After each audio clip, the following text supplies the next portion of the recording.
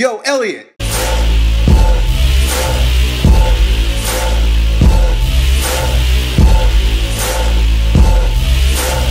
Hey, so our buddy Manuel has uh, has been training since April of this year. He's lost like 30 pounds.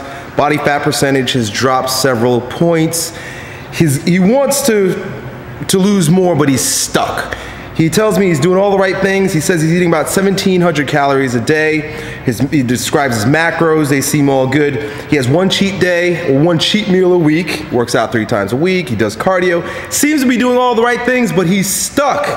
He's at 21% body fat. He, want to get, he wants to get down to 14, 15%. All the things that he's doing now has gotten, to, gotten him to where he is, but are no longer supporting him in getting to the next phase.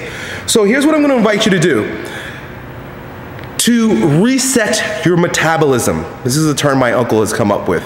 And he's given me a diet that I've used. And in fact, it's actually the template that I used when I created my lean hybrid muscle meal plan, right? And if you've seen these videos, very old videos I've created about lean hybrid muscle uh, hybrid meal plan.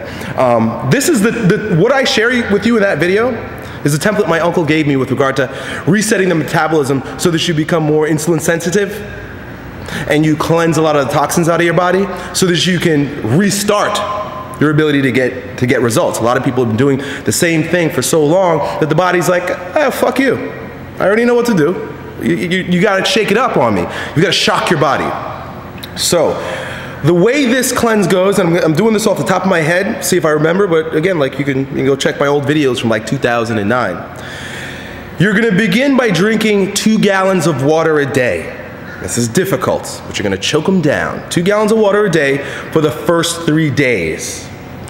During those three days, you're eating only chicken breast, not even chicken breast, I'm sorry, turkey breast, tuna, like the driest, purest protein you can you can eat. Chicken breast even has too much fat. So like turkey breast and tuna. You're eating it for you know, three or four meals, spread it out three or four meals a day for those first three days, along with uh, unlimited cruciferous vegetables. My uncle has explained that broccoli is your best bet for those three days. He says that it has something to do with the hormones. I don't understand it.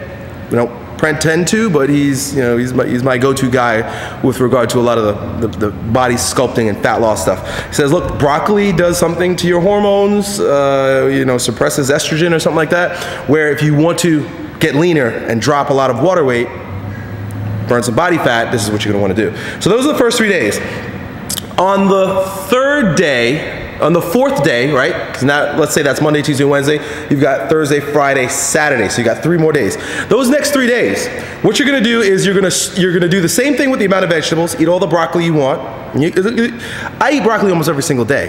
So you're gonna eat broccoli those particular days as well, but switch from the low fat meat protein sources to higher fat. So you're, now you're gonna include your steak, your buffalo meat, your chicken, breast, higher fat, juicier forms of, uh, of protein. So you're increasing your calories somewhat.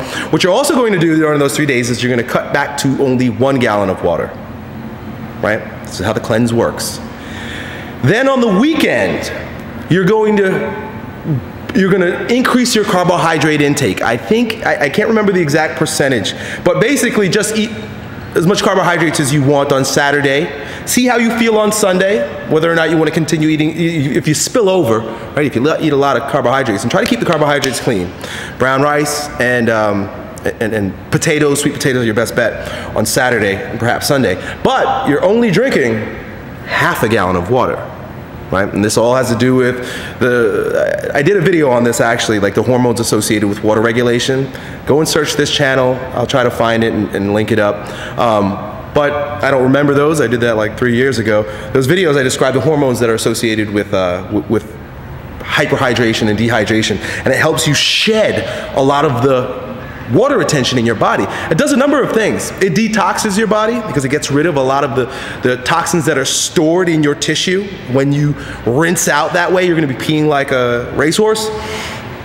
and it it'll create this insulin sensitivity situation where you haven't had any carbohydrates all week and now your body it's reintroduced and your body uses sucks it up right away right now you might just be spilling over all over the place you know you might not have drained your glycogen like glycogen stores uh, while maintaining the, the, the amount of carbohydrates that you're maintaining in your, your current meal plan it's not to say that carbohydrates are bad but you your insulin sensitivity is diminished so this is what we want to have happen.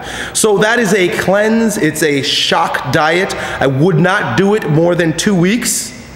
Shock your system with two straight weeks of this particular, um, I'm to call it a cleanse. It's a bit of a cleanse, but it's just, it's a shock diet. And, uh, and then go back and see how you respond to your old diet, and then hopefully things will start snowballing again in, in, in the right direction.